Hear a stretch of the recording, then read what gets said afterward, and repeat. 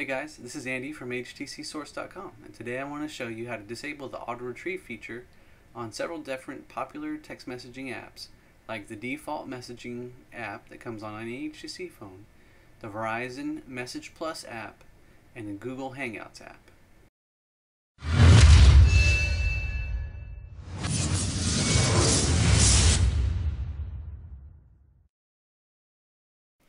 In the default Messenger app, Messages, open, go to the three dots in the top right, go to Settings, Multimedia, and uncheck Auto Retrieve.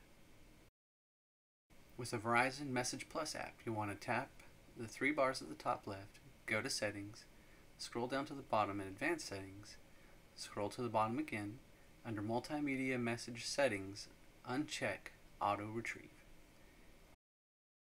In Google Hangouts, you'll open the app, go to the three bars at the top left, go to Settings, SMS, scroll down to the bottom, under Advanced, you'll uncheck Auto Retrieve MMS.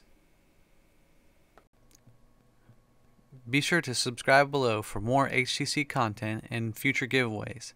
Thanks for watching. This is Andy at HTCSource.com.